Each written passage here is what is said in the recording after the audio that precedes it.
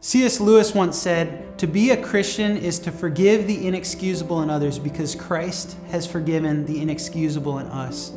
God asks us, because of the great debts that He's forgiven us, that we also in turn forgive others. And He does a powerful work in our lives when we do this. One of the most incredible stories I've ever heard about forgiveness is from Corrie ten Boom, who was a Holocaust survivor. She and her family were actually harboring Jews in their home in Holland to protect them from Nazi Germany.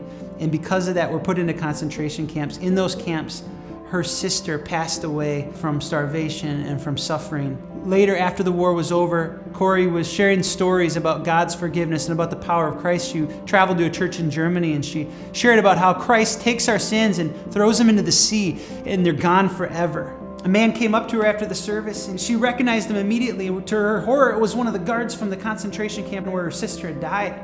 And the man said, Corrie, thank you so much. I know now that Christ has forgiven me my terrible sins but I would love to know if you'd forgive me as well. And in that moment, Corrie just felt so cold and so broken and lifeless, and she had no desire to forgive this man. And she prayed in her heart and she said, God, if you help me, I'll extend my hand to this man who's extending his hand to me, but if you help me, help me to actually feel that I can forgive this atrocity that she had gone through in her life. And as she reached out her hand, she felt the Spirit of God just flood through her body into her hand, and she embraced this man, and she was able to say in that moment, I do forgive you from the bottom of my heart.